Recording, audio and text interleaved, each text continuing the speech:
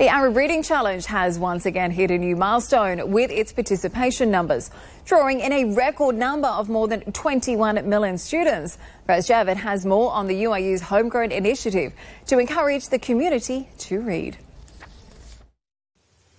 For the fifth consecutive year, the Arab Reading Challenge participation continued to increase, drawing 21 million students from 52 countries. Now, that's a record, a 55% increase from last year's 13.5 million students from 49 countries.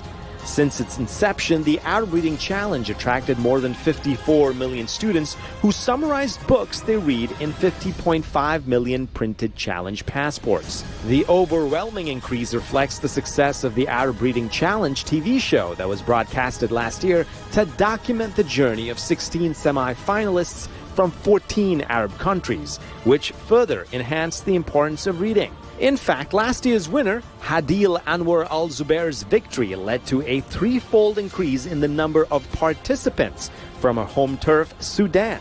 And with the growing popularity, this year's challenge has attracted the participation of Arab students from four new foreign countries, such as Switzerland, Turkey, Luxembourg, and Austria.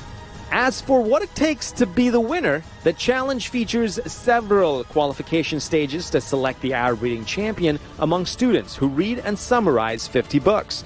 Students start competing at class level, then school level, proceeding to the level of the educational district, leading up to selecting the top 10 students from each country before filtering down the national winners. Then the semi-finalists partake further evaluations before competing for the grand prize, which is a pool of a whopping 11 million dirhams, where the best school takes away 1 million dirhams award and the outstanding supervisor wins 300,000 dirhams cash prize. Meanwhile, the Arab reading champion takes home 500,000 dirhams. The final ceremony is scheduled to take place in Dubai in October of this year. Faraz Javid, Emirates News.